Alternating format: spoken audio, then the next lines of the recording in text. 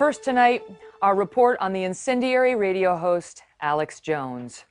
For years, Jones has been spreading conspiracy theories, claiming, for instance, that elements of the U.S. government allowed the 9 11 attacks to happen and that the horrific Sandy Hook massacre was a hoax. Some thought we shouldn't broadcast this interview because his baseless allegations aren't just offensive, they're dangerous. But here's the thing Alex Jones isn't going away. Over the years, his YouTube channel has racked up 1.3 billion views. He has millions of listeners and the ear of our current president. We begin our report with his reaction to the recent terrorist attack in Manchester, England. Alex Jones was nearly 5,000 miles away from Manchester, England when a suicide bomber killed 22 people at a concert less than four weeks ago. Despite the distance and with few facts known, Jones did what he often does jumped mouth first into controversy. A big bomb goes off at a pop star's rock concert, bombing a bunch of liberal trendies. You said it was a bunch of liberal trendies who were killed, the same people who are promoting open borders bringing Islamists in. Yes. In response to which many people looked at the victims, many of whom were 15, 14, there was a little. I know. I'm sorry I didn't blow him up. I know, but I did something bad though. No, that oh, that Oh, no, you no, would no, no, suggest no, that no, that an because- eight that an eight year old, right? There was Saffie Rose Roussos, eight years old, that she was a liberal trendy, right? Because that's what you said about the victims. Is what has people No, that's upset. yeah, no, no. The, the media misrepresenting and clipping that the way you did. I got home at like six o'clock, heard about it. The ages of the victims weren't even known, but they were saying it was jihadi. And I said, how crazy is it that liberal trendies are now the victims? And then I start going and looking. Of, of course, if there's kids being killed by Muslims, I'm not saying that that, that it's their fault. That know, pattern, for that. reckless accusation followed by equivocations and excuses, is classic Alex Jones. They can just carte blanche go anywhere they want. He has spent nearly two decades on the fringe, shouting his conspiracy theories into any microphone he could get in front of. Here he is on Austin Community Television in 2001. Tyranny is enveloping the globe. He and his company InfoWars have been steadily gaining followers for years, producing radio shows and webcasts, which reach millions a month. But Jones's influence hit new heights when he attracted a very famous fan, then presidential candidate Donald Trump. I just want to finish by saying your reputation's amazing. In December 2015, Mr. Trump appeared on Jones's radio program, offering praise and promises. I will not let you down. You will be very, very uh, impressed, I hope. And I think we'll be speaking a lot. Separately, both men had supported the false statement that Barack Obama was not a natural born citizen, Donald Trump is surging. and they've had more in common since. I agree with Trump on that. He agrees with me. Because they've got articles. He's following Alex on coal. He's following Alex on guns. He's following Alex on borders. The 2016 campaign was good for InfoWars. Its YouTube monthly views reached 83 million in November 2016, more than five times higher than the previous November. And when Mr. Trump won, Alex Jones found himself with access to the seat of power. InfoWars got a temporary White House press pass for the first time, and Jones says Mr. Trump called him after the election to thank him for his help. You have said that it's surreal to say something on InfoWars and then hear it come out of the President of the United States' mouth a couple days later. I mean, that has happened, but um, Do you think he's watching? I mean, I know Trump watches and sees the clips and things. We did find indications of that. On July 22, 2015, InfoWars put up this video claiming it showed drug trafficking along the U.S. Mexico border, although we don't know what it actually shows. we actually witnessed a drug smuggling operation from Mexico into the U.S. Three days later, Mr. Trump gave this speech in Iowa. Big story. It's all over the place now. Guys swimming across and big bags of stuff. It's drugs swimming across the river. This was InfoWars previewing the first presidential debate between Donald Trump and Hillary Clinton. I think she's going to show up and uh, on drugs, though. She's going to be whacked up. And Mr. Trump's take not long after. we should take a drug test prior, because I don't know what's going on with her. Donald Trump ally and frequent InfoWars guest Roger Stone underscored the connection between Jones and the Trump campaign in a tweet last spring. It read, MSM elites don't see that Alex Jones and InfoWars reach millions of Donald Trump supporters and helped make the Trump revolution. Donald Trump calls me. Secretary says Donald Trump would like to talk to you, Mr. Jones. You'd like to talk to him? Yes, boom. While Jones has boasted of his contact with the president on his radio show, he downplayed it in his interview with us, claiming the mainstream media, or MSM, has exaggerated their connection. I, I think my influence on Trump is way, way lower than what MSM has said. Well, what kind of access do you have? He's just called sometimes and you know uh, talked about politics or thanked me stuff like that. That's it. Would you describe yourself as friends? No, Friendly? sure. And how many times has he called you? I don't want to get into all that. What is it do you think about Alex Jones that President Trump finds so amazing? That's a scary question. Charlie Sykes is a conservative writer and contributor to NBC News. He's been critical of President Trump. Obviously, there's a conspiratorial turn in the president's thinking and his imagination, and those darker impulses are fed into by uh, Alex Jones. Jones speaks to his listeners for hours a day, six days a week. His rants can be vulgar and hate filled, like this one directed at a member of Congress. Schiff looks like the archetype, archetypal and there's something about this fairy hopping around, bossing everybody around, trying to intimidate people like me and you. I want to tell Congressman Schiff and all the rest of them, you want to sit here and say that I'm a damn Russian? You get in my face with that, I'll beat your ass, you son of a bitch. Jones began developing his conspiracy theories as a teenager. He grew up the oldest child of a dentist and a homemaker and went to high school in Austin, Texas. I read a lot of history books when I was a kid, and I, and I also had family that was educated. So, I mean, I just knew how things actually worked versus what the news was saying sometimes. After a brief stint in community college, Jones found his calling at public access TV in Austin. He went into business for himself, founding InfoWars in 1999.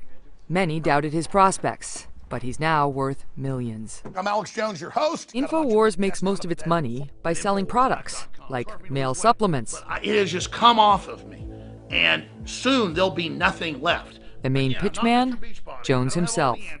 I mean, it costs 45, 50 million dollars a year to run this. How much money is being made? Well, the money that's made is pretty much put back into things. Jones uses that money to spread his message, a message that has caused enormous pain.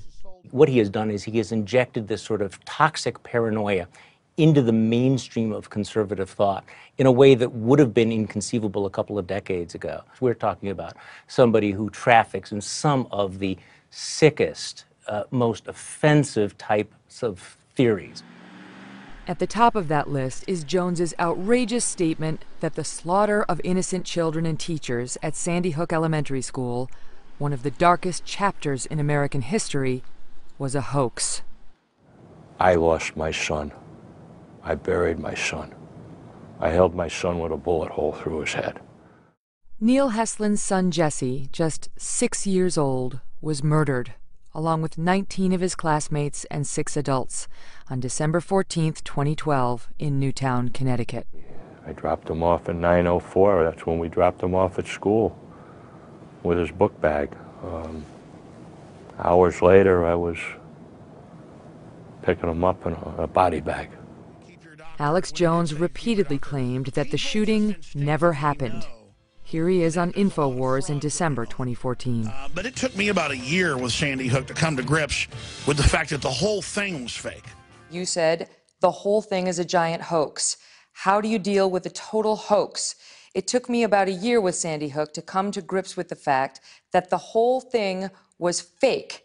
I did deep research, and my gosh, it just pretty much didn't happen. At, at that point, and I do think there's some cover up and some manipulation, that is pretty much what I believe. But then I was also going into devil's advocate, but then we know there's mass shootings and these things happen.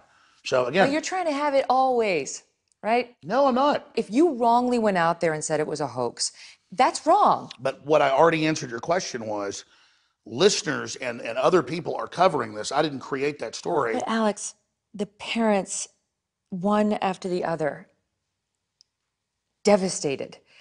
The dead bodies that the coroner autopsy. And they've blocked all that and they won't release any of it. That's, that's unprecedented. All Even- of the parents even the decided reports. to come out and, and lie about their dead children. I didn't say what that. what happened to the children? I will sit there on the air and look at every position and play devil's advocate. Was that devil's advocate? It, the whole thing is a giant hoax. The whole thing was fake. Yes, because I remember in even that day, if I go back from memory, then saying, but then some of it looks like it's real. But then what do you do when they've got the kids going in circles in and out of the building with their hands up? I've watched the footage and it looks like a drill. When you say parents faked their children's death, people get very angry. Yeah, well, let's, oh, I know, but they don't get angry about the half million dead Iraqis from the sanctions, or they don't get angry about all the That's a illegals pouring in. no, no, it's not a dodge. The media never covers all the evil wars it's promoted, all the That doesn't things. excuse what you did and said about Newtown. Uh, uh, you Oh, know but it. I, here, here's the difference. Here's the difference. I looked at all the angles of Newtown, and I made my statements long before the media even picked up on it. So In our interview, we asked Jones numerous times what he now believes, and he never completely disavowed his previous statements. I tend to believe that children probably did die there. But then you look at all the other evidence on the other side, I can see how other people believe that nobody died there. Of course, there is no evidence on the other side.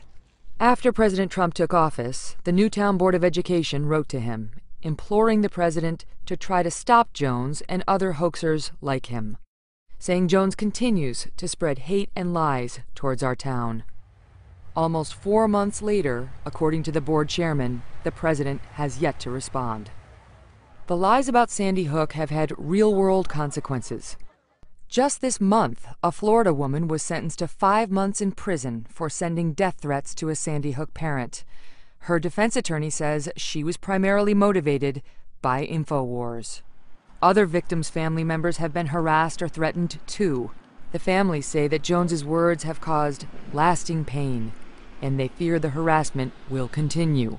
You know, it's disrespectful to me, or in fact, I did lose my son, and, and the 26 other families lost somebody, and I take that very personal. You know, this piece is going to air on Father's Day. Correct. What is your message to him? I think he's blessed to have have his children to spend the day with, to speak to. Um, I don't have that. The consequences of Jones's actions are not limited to Sandy Hook. Pizzagate, as it's called, is a rabbit hole that is horrifying to go down. Now, In 2016, Jones promoted a conspiracy theory known as Pizzagate.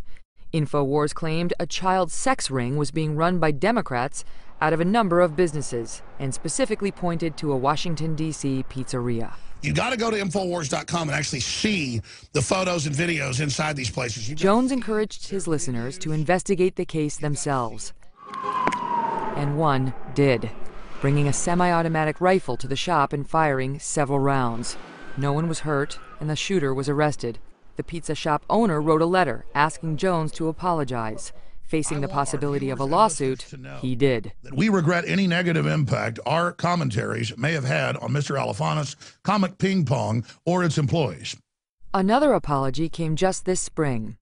Chobani Yogurt sued Jones after InfoWars fanned the lie that Chobani employees committed a sexual assault in Idaho. On behalf of Infowars, I regret that we mischaracterized Chobani. You misstated facts about Chobani and its owner, which you could have found out if you just had a reporter do a little shoe leather reporting, pick up the phone, call, check out the facts. You never would have had to retract that or apologize. This is my statement on that. We know that that was basically a PR event. And, and what happens is you've got a year of reporting on the reported sexual assault. All of which has nothing to do with Chobani. Yeah, I know you're not going to let me get it out, are you? I'm going to let you get it. I just want to make sure the record's straight because I don't want to smear the man. You are the one who said that you were wrong about Chobani. You said that. Well, that's because they chose to go after me. And so I simply pointed out that we were reporting other people's reports that were not entirely accurate. And for that, we were sorry because it was true. You don't sound very sorry. Um, well, the media said stuff about the settlement that wasn't true. But you said things about Chobani and its owner that were not true. Are you sorry? I- I'm going to tell you again. There was the media really was upset that they said that there was a hoax. It's not the media. And so what they did, You. and so what they did, Are you sorry? and so what they did, so what the what the media did, and we know it was the media, and, and we have the PIs and the law firms, and we're working on it right now. Let's just say Chobani was real happy to get out of that lawsuit. But the lawsuit makes clear InfoWars was the only media outlet to report the lie that forced Jones to apologize. And with that apology, Chobani considers the matter closed. Do you think of yourself as a journalist? I have some journalists that work for me, and I do journalistic work, and I've broken a lot of big stories, and I understand the you know the, the basics of it. I need to find the Lion of London thing. In the InfoWars studio, there's no script. Instead, it's a freewheeling spin through piles of articles straight off the internet. 95% of what we cover is looking at a news article and then you know uh, discussing it. Well, but you know, if you just look at an article and discuss it, it's garbage in, garbage out, right? If you haven't ascertained the veracity of that article and it's all BS, and then you spend two hours talking about it, then you put out a bunch of misinformation. I'm just trying to figure out what the vetting process I mean, we is. all get Hillary was 15 points ahead. Okay, and, and and I mean, we all we all get mainstream media has got a big problem. The InfoWars staffers we met have free reign to cover whatever they like with virtually no oversight. We spoke with some of Jones's employees, including Owen Shroyer. How do you, on a day to day basis, figure out what you're going to do? I wake up, I look at the news, I uh, pray. I rarely get directives from Alex or my boss. Uh, they pretty much just leave it up to me. Is that what you consider yourself to be, a journalist? You know, I, I don't like calling it that. I just, I'm just a human. I'm just a human that's looking for truth. So I'm trying to reach out and be what the people want. When you say people, who do you mean? The deplorables, the flyover country, the forgotten American. We're going to get to work immediately for the American people. With the election of Donald Trump, Alex Jones has plans to expand InfoWars. More studios, more shows, more employees, more influence. I said the night he won, I said the war has just begun. So this is a we just got a beachhead, and so that's just the start of the war for me. And Alex Jones goes into battle with a powerful ally. Just two weeks ago, the Trump Pence campaign emailed this message to supporters. Notice at the bottom, it's a link to InfoWars. Hey, NBC News fans, thanks for checking out our YouTube channel. Subscribe by clicking on that button down here and click on any of the videos over here to watch the latest interviews, show highlights, and digital exclusives. Thanks for watching.